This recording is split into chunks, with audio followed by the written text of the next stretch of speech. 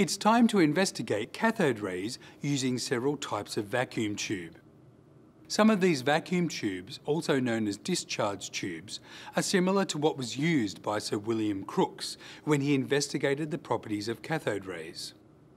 Each tube has been evacuated of most of the gas particles in it.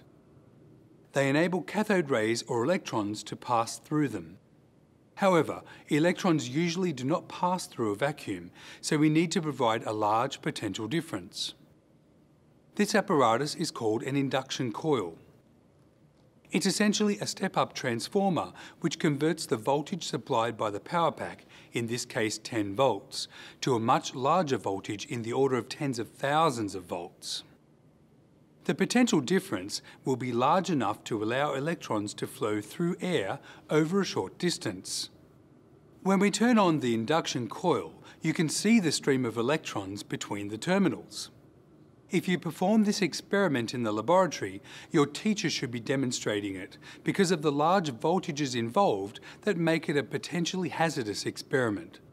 You should conduct a risk assessment before you participate in these experiments.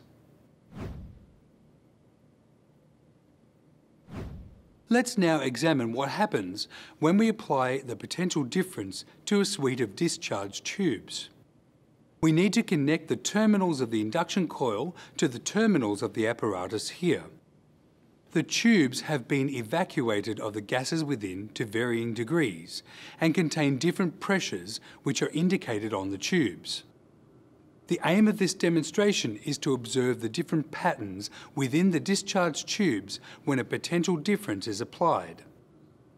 We should be able to observe the phenomena shown in the diagram, including several dark spaces such as Faraday's dark space and Crookes' dark space. The striations are the brighter regions. Remember, the electrons flow from the cathode, which is the negative terminal. The different pressures will produce different patterns within the tube. This discharge tube is the highest pressure. You can see that the entire interior of the tube is glowing. This was referred to as positive and negative glow and is caused by electrons colliding with gas molecules within the tube, resulting in the emission of visible light. In this medium pressure tube, we can see that the glow is now clearly separated into bright and dark regions called striations. We can also see Faraday's dark space closer to the cathode. Again, electrons colliding with the gas molecules in the discharge tube cause the glowing.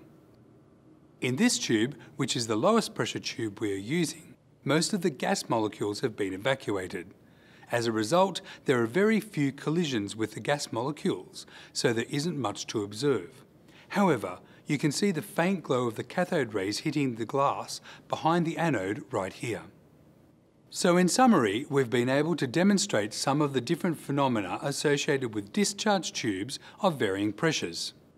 It's prudent to point out why we don't allow the cathode rays to be produced for long periods.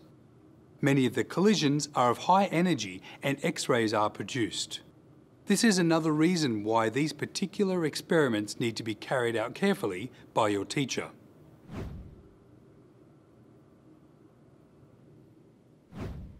It's now time to turn our attention to discharge tubes that are specifically designed to help us understand the properties of cathode rays.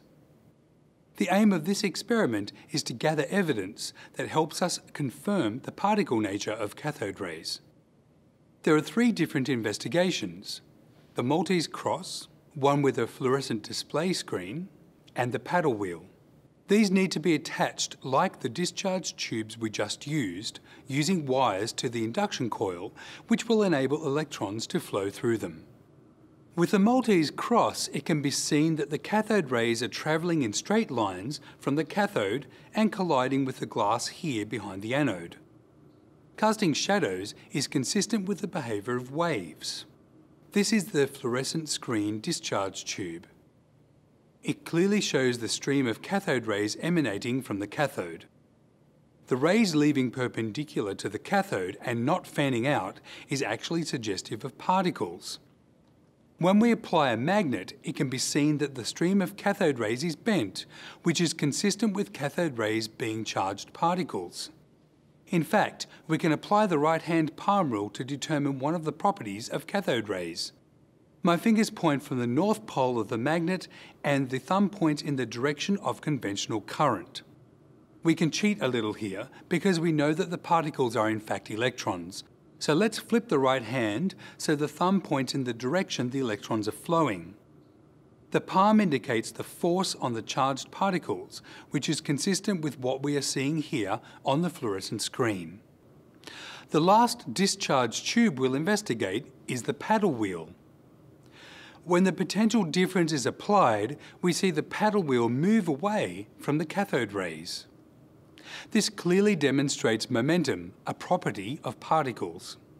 Let's summarise our observations. Essentially, most observations suggest that cathode rays are particles, but some suggest that they may be waves, for example, the Maltese cross where shadows were cast. The inability of scientists to demonstrate deflection by electric fields due to insufficient vacuum in their discharge tubes confounded the issue, so the particle nature of cathode rays was only revealed when technology to create vacuum tubes with very little gas in them was invented. You should now be able to explain features of discharge tubes such as dark spaces and striations and relate this to the pressure in each vacuum tube. You should also be able to relate each of the specialised discharge tubes to the model of cathode rays that it suggests, particle or wave.